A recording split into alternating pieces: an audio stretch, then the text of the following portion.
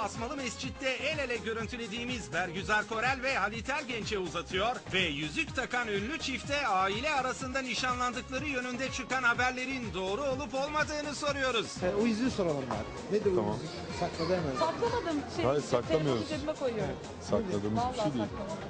Nedir? Öyle aile içinde evet, taktığımız bir yüzük. Şey, söz yüzüğü mü diyor? Nişan yüzüğü. mü?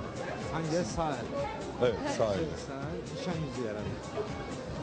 Evet. Peki Halit Bey uğruna eşinden boşandığı iddia edilen biricik aşkı Bergüzar Koreli ailesinden istemiş miydi? İstediniz mi? Ailesine gidip hani birlik alışveriş. Bunlar özel şeyler ya. Bunlar çok özel şeyler. Biliyorum. Şey. ailevi şeyler. Ee, onun için e, ben anlıyorum sizin de merakınızı ama Ya benim Ya bunu- merakım değil aslında Halit abi. yok Anla hayır. Ben- anlıyorum anlıyorum onu da anlıyorum Ay, araba ama geliyor. bunu da çok fazla paylaşmak istemiyorum. Ayaküstü sohbet ettiğimiz ünlü çiftin etrafını bir anda Arap turistler sarıyor ve Binbir Gece dizisinden tanıdıkları Ergenç ve Korel'le fotoğraf çektirmek için birbirleriyle yarışıyorlar. okay okay okay easy easy easy easy easy easy easy.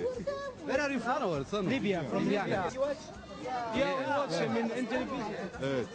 Yoğun ilgi karşısında şaşıran Halit Ergenç Arap turistlere bir öneri sunuyor. And we, we had a very hard day. If you come together, you're all friends, right? Yeah. Let uh, let one person have all the cameras, then let us come together and take one or two pictures together, and then you'll share it, okay?